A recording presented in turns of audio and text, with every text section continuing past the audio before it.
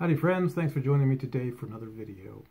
Today I'm going to try my hand again at ranking, but I'm only going to rank a small section of Bob Dylan's catalog. I'm going to rank the bootleg series that Bob Dylan has released. Alright, let's get started. I'm going to go from least uh, favorite to favorite, and I'm going to count the first release, uh, volumes 1, 2, and 3, as one release because they were released like that. They were put out with three discs in a set, even though he called it volumes one, two, three. Um, I'm calling that one volume. Um, and a little note uh, how I rate things as far as what I like. Um, I love hearing unreleased songs, things I've never heard before. Um, so the live ones aren't necessarily going to be at the top of the list for me. Uh, I have a lot of live Bob Dylan and bootleg version, real bootlegs, as well as his bootlegs, and they're great. Some of them I really like. Um, but I really, really, when, when he puts out a, a new uh, bootleg series, I really crave new songs, things I've never heard from him before. So let's get going. All right, starting with um, the least favorite, uh, the Witmark de demos, coming in, I think, at number, let's see, 1, 2, 3, 4, 5, 6, 7, 8, 9, 10, 11, 12, 13, yeah, number 13. Bob Dylan's The Witmark Demos, uh, 19... 62 to 64. This has a lot of fragments. These are really nice sets, I will say. This has not a lot of fragments, but it has some fragments of songs. It has some very skeletal songs. It has him playing a lot of piano. Um, it's very early days. Um, and I, I love early Bob Dylan. I love his first four records, but I don't um, necessarily like to hear more and more of that. So um, this one I was really looking forward to. Um, I think I, saw before it came out that it had songs on it that I had never heard before, and so I was looking forward to that. And then I came out and I heard it, and it was just, you know, it's just, it's, it's, it sounds like it was recorded in 1962 and 64, and it's just not my favorite of his stuff. It does have some songs that I probably don't know, but it's got lots of just him, you know, other versions of the songs that were already released, like "Blowing in the Wind" and um, you know, uh, uh, uh, the Ballad of Hollis Brown, When the Ship Comes In, Paths of Victory, Tambourine Man, Bob Dylan's Blues, I Shall Be Free, you know, all of these songs um, were released already. Um, and so there, there, are a bunch of songs, some on here that I haven't heard, but mostly it's kind of, you know, going over the same old territory. So that's number 13. Coming in at number 12, a live version of a 1964 show from uh, the Philharmonic Hall and just him and guitar and harmonica. Um, and it's decent, you know, it's okay, but it's something I'm not going to go back to. His, his early live recordings, just him playing guitar and singing to a fawning crowd that he's going to make fun of and insult because um, they think he's a folk singer and he doesn't. He's a song and dance man or whatever he is at that particular moment. But anyway, this comes in at number 12. It's okay, I like it, you know, but it's just not my favorite thing, him playing live at that time period, just by himself. Um, uh, yeah, it's not my favorite thing. Um, and those songs, again, I've, you know, I love them on the original albums, and that's enough. All right. Coming in at number 11 is um, more Blood on the Tracks, um, the bootleg series, volume 14 or whatever, but for me it's number 11. Um, you know, this has been circulating in the bootleg world forever. I, I don't know how they got eight or, you know, the, the, deluxe version has eight or nine or more CDs. I don't know how many. I don't know how they got that out of this, but um, it's just, you know, people say it's interesting to hear, you know, to see the evolution of a song. And I agree to a, to a degree, but it, I think it's a little bit tedious. And honestly, the album that he came out uh, with out of these songs is just light years better. It's just so much better. These are very skeletal, um, and they're interesting. They're nice, uh, but it's again, it's just more of the same. And I've been hearing these songs already. I'd heard them on the bootleg uh, before this came out, and I've heard them, of course, in the original. And the only new song is "Up to Me," which was on Biograph, so it's not really a new song. Um, I think that's the only new one. I can't even read it all. Um, yeah, the rest of them are just him doing the album. So this comes in pretty low on the list. So that's number 11. Now we're down to number 10. Um, Bob Dylan's uh, bootleg series, live 1966 at Royal Albert Hall. you know, I guess I've just heard too much of this stuff over and over and over and over. And I did do a video a while back of, um, oh, actually, I guess I haven't put that, posted that video yet, so I shouldn't talk about it. I am posting a video soon of my Bob Dylan bootleg box sets, and it's got some 66 stuff in it, and, uh, you know, I like it okay. It's good. Uh, I didn't used to like it when it first came out. I thought it was a bunch of screaming, screeching, crazy stuff, but I listened to this recently and I liked it quite a bit. Or I listened to one of the bootlegs and I was like, wow, that tour actually was pretty good.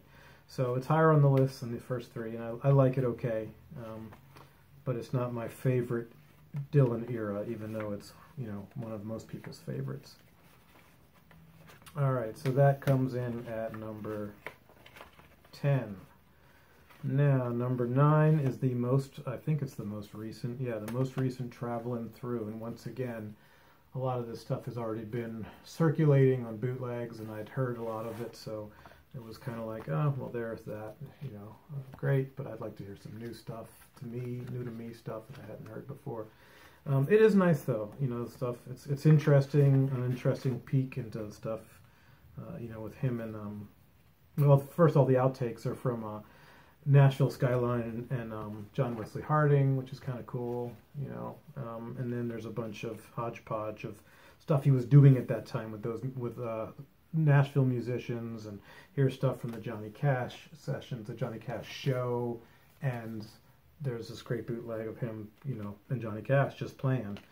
Um, and then here's some stuff with um, Earl Scruggs and him, and um, I think more with Johnny Cash and so I guess this doesn't go higher on the list because I'd already kind of heard all this stuff. It already made the rounds, um, but I like it. so um, that comes in at number nine. Now we come in at number eight, right? Eight, seven, six, five, four, three, two, one. Yeah, this is number eight. Um, the Rolling Thunder Revue, 75 tour. I do like that tour. It's not my my favorite tour, but I, I like it quite a bit.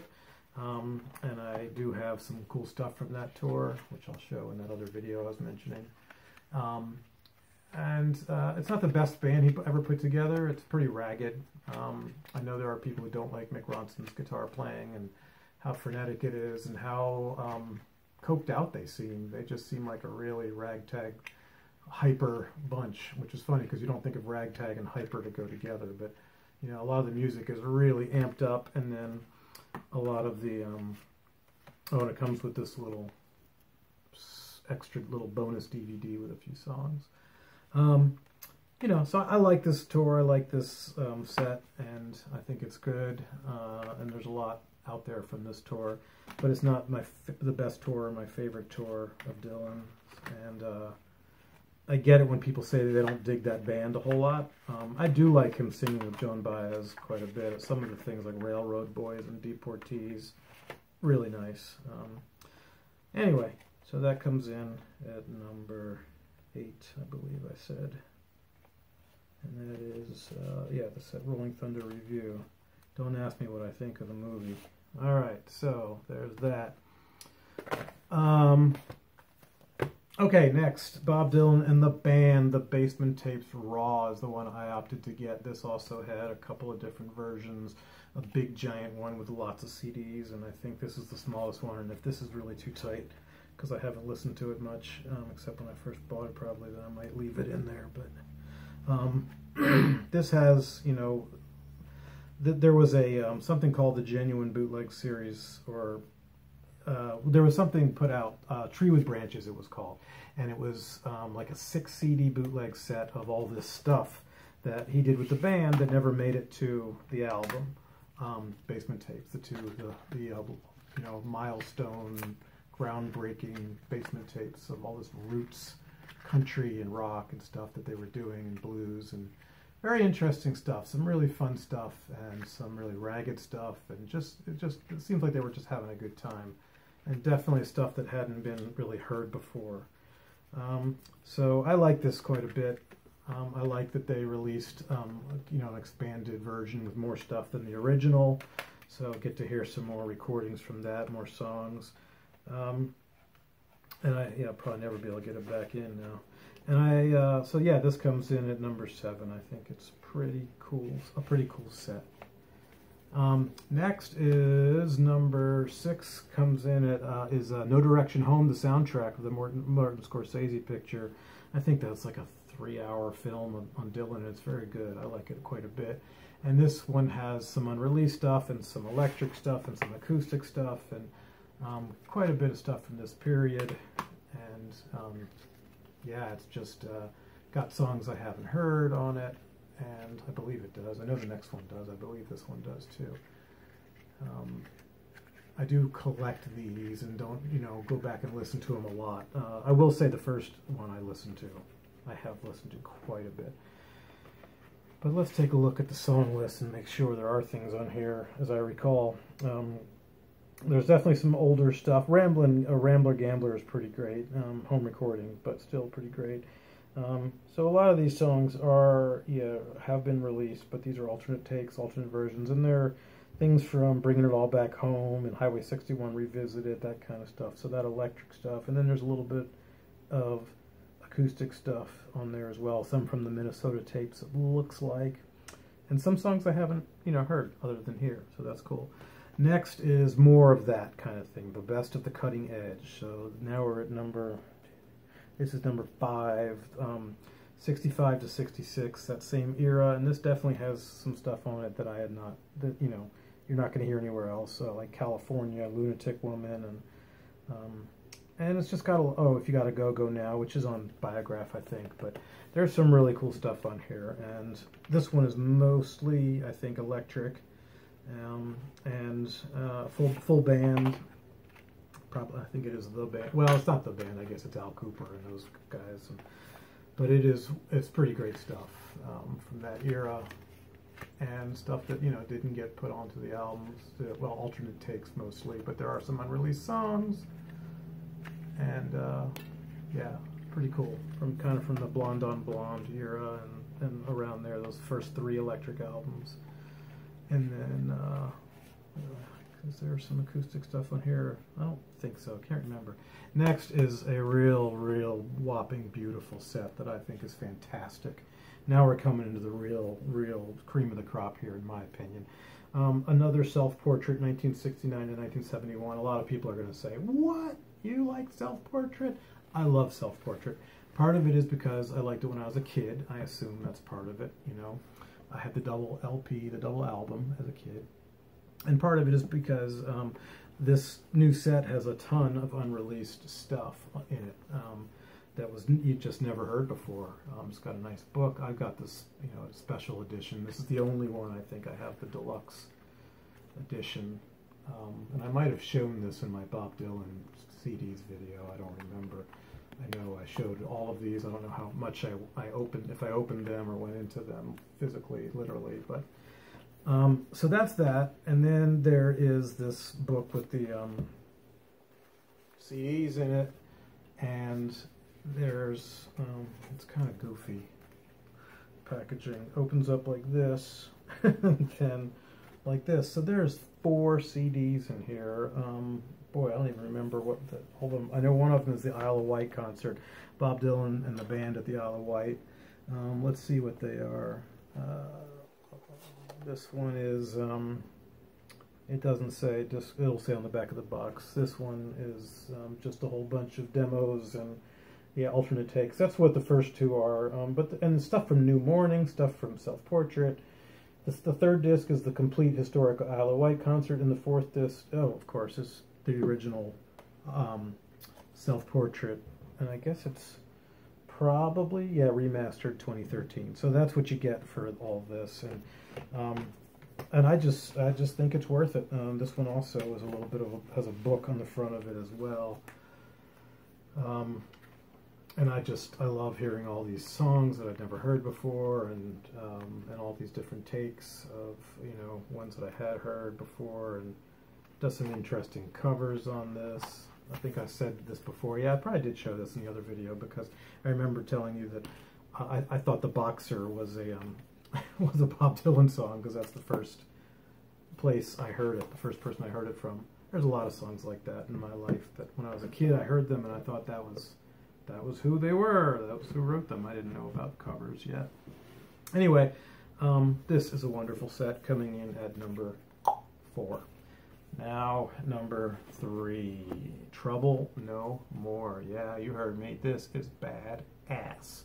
Uh, this is just a rockin', rockin', rip roaring set. Uh, if you don't like his religious years, you will still probably like this. It is a just rip roaring set, and even if you don't like the, his religious years, you got to admit that the songs are good and the albums are good, even if you don't like the content of the um, the writing. I, I understand that, I get that, but the albums are good, the songs are good, the production is pretty good. Um, and this is just a kick-ass um, set of two, you know, two CDs worth of live recordings from that tour, and the band was just on fire. Um, uh, and he had these great backup singers too, and um, it's just really good, really good. All right, this leads us into number two, Telltale Signs, rare and unreleased recordings. And um, from 19 what is it say 89 to 2000 is that right?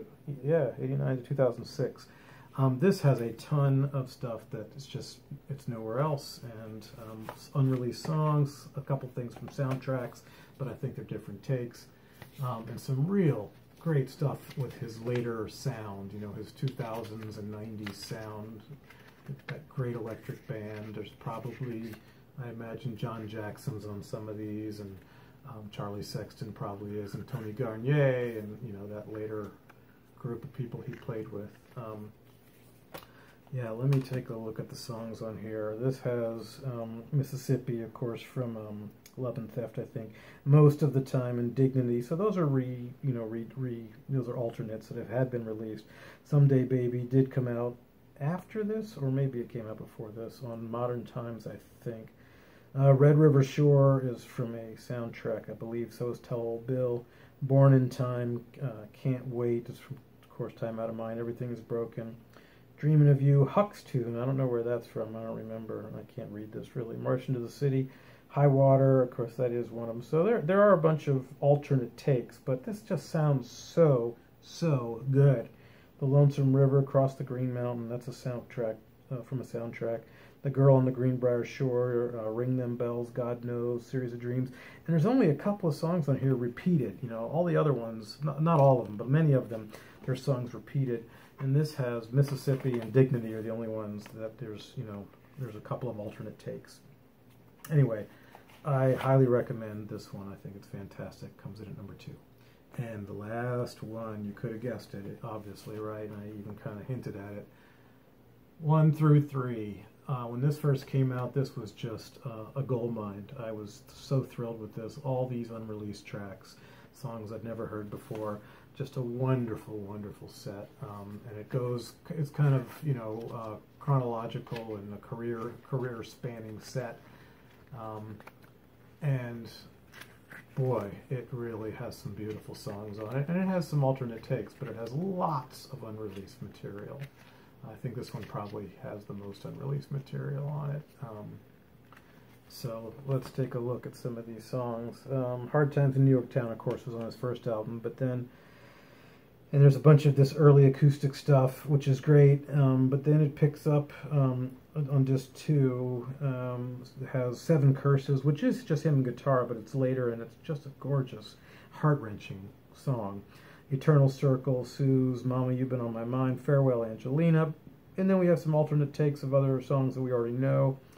And then I'll keep it with mine. Um, Santa Fe, If Not For You. Wallflower, I think this is the only place that is at. Um, Call Letter Blues, uh, that's I don't think that's anywhere else.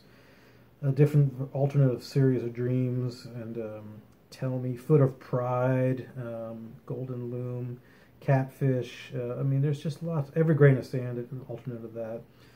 Uh, lots of lots of beautiful, great songs on this, and lots of stuff that um, you just can't hear anywhere else. So that is my number one. So once again, I'll do a quick um, show you through. This is number one for me, anyway. This is number two, number three,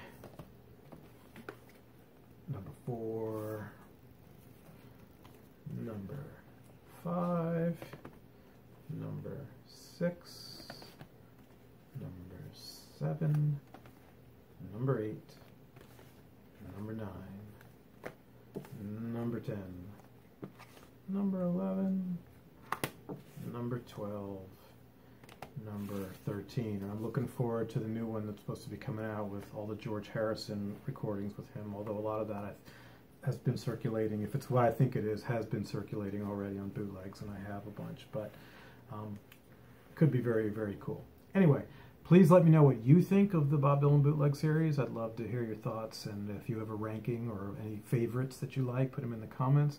Please subscribe, like, and uh, thanks so much for watching. Have a good day. Bye.